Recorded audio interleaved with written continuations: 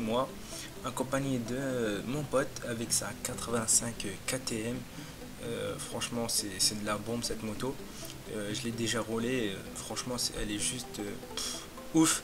Pour commencer la compétition, c'est l'idéal, on va dire. Lui, il s'entraîne sur ce petit terrain parce qu'il est assez jeune quand même, mais il pratique de la compète. Et franchement, il gère bien. Il me dit qu'il n'a rien à dire sur cette moto.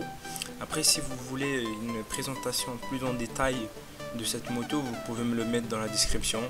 Mais euh, sachez que, comme ça s'appelle, euh, pour faire euh, de la cross sur des motos, comme ça s'appelle, sur des terrains, je veux dire, moi, ça, va largement bien. KTM, de toute façon, c'est fiable comme marque.